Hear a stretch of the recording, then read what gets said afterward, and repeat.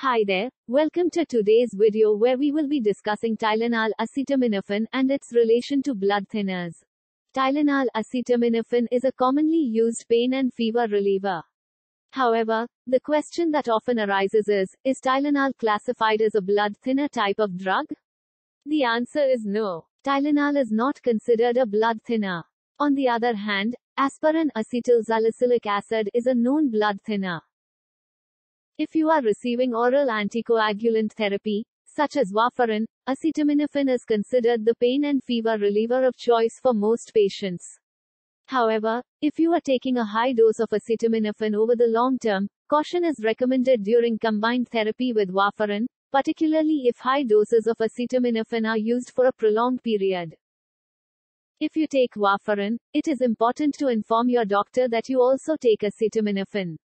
Contact your doctor immediately if you experience any signs of bleeding such as nosebleeds, bruising, headache, dizziness, weakness, pain, prolonged bleeding from cuts or gums after brushing, heavy menstrual flow, unexpected vaginal bleeding, red or dark urine, or red or black. Thank you for watching. Subscribe us to know the details.